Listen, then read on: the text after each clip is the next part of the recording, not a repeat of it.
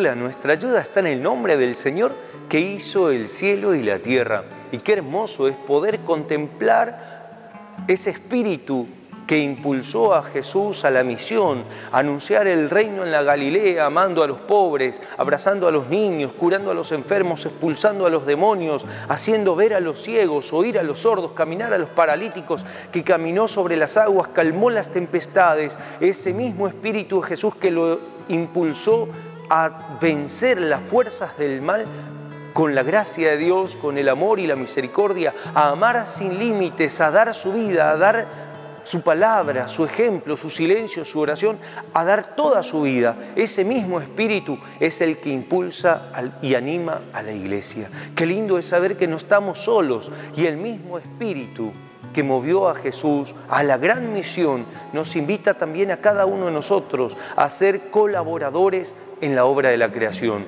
Sabemos que de nosotros es muy poco lo que podamos aportar, pero Él llama a hombres y mujeres y nos da todo su espíritu.